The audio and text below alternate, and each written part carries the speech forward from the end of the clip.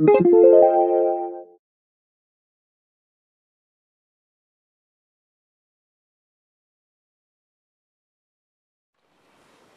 going to show you wrap and turn short rows. There are many different kinds of short rows, but the wrap and turn is the one that I know how to do. There are also German short rows, Japanese short rows, and yarn over short rows. I'll post some links on the blog if anyone is interested in learning about some other kinds of short rows. And you can use short rows to add shaping to a sweater, maybe along the bust line if you need a little more room in that area. Or you could even use short rows to make the heel of a sock. And you can see on this fabric here, there's a little bump in the fabric. And it's not flat like it would be if there were not short rows. So when you put your short rows in, it gives you a little extra room like you see here. And the wrap part of short rows is optional, but a lot of knitters do it to help prevent holes in their knitting. So I'll show you how to wrap your stitches on both the front of the fabric and the wrong side, and then I'll show you how to pick up your wraps. And picking up the wraps is optional as well, but it does look better on your fabric than if you were to just leave the wraps alone. So on the right side of my fabric here, let's say that my pattern is telling me to knit within six stitches of the end of my row and then wrap and turn. So I'm going to knit until I have six stitches left on my needle and then I'm going to do my wrap and turn. So I'm knitting, so I'm going to keep my yarn in the back where it is I'm going to slip the next stitch purlwise onto my right needle, bring the yarn to the front of the work, and slip that stitch back to the left needle. And now I'm going to turn.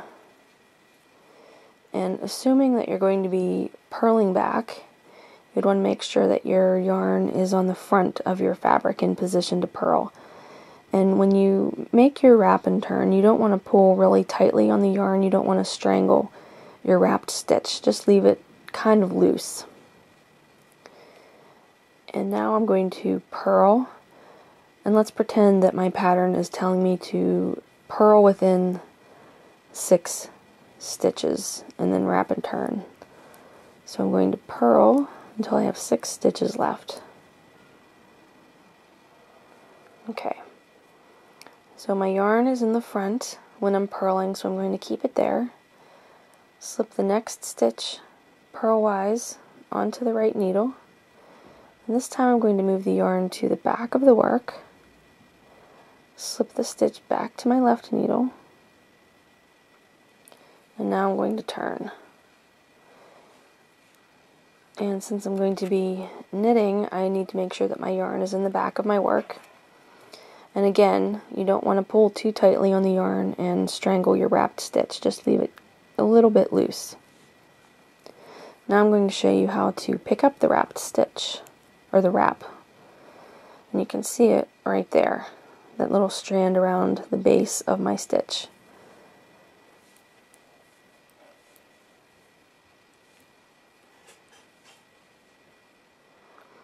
So to pick up the wrap on the knit side of your fabric, you want to take your right needle and you're going to be knitting the wrap and the stitch together. So pick it up with your right needle, pick up the wrap first, and then go into your knit stitch or your next stitch and you want to knit them both together. Just like that. And then continue knitting.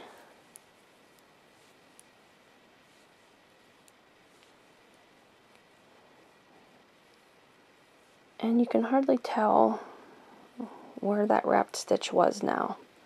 And it might look a little funny at first, but it should even itself out as you continue knitting.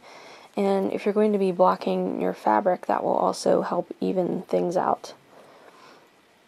So to pick up that wrapped stitch on a purl side, it's just as easy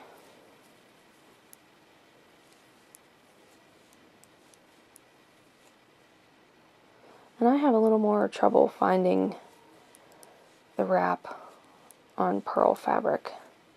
So I always just have to try to remember which stitch I wrapped. Okay, there it is. You can see that extra strand of fabric around the base of the stitch. And I find it easier when I'm picking up on the purl side if I grab that stitch that's wrapped and slide it to my right needle and then pick up the wrap like that with my left needle and put them both on together and then purling them together. But you could do it however is comfortable for you. And I'll just show you the front of the fabric.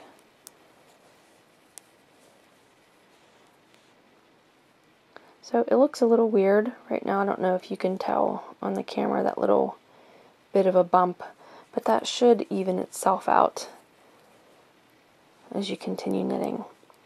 So that is on stockinette fabric. If you're just doing garter stitch fabric, you don't have to pick up your wraps because they're going to be disguised pretty well.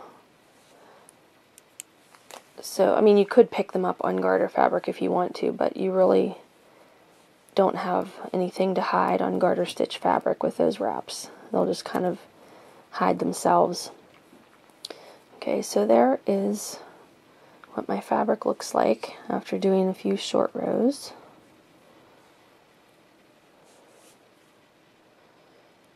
And that's it for wrap and turn short rows.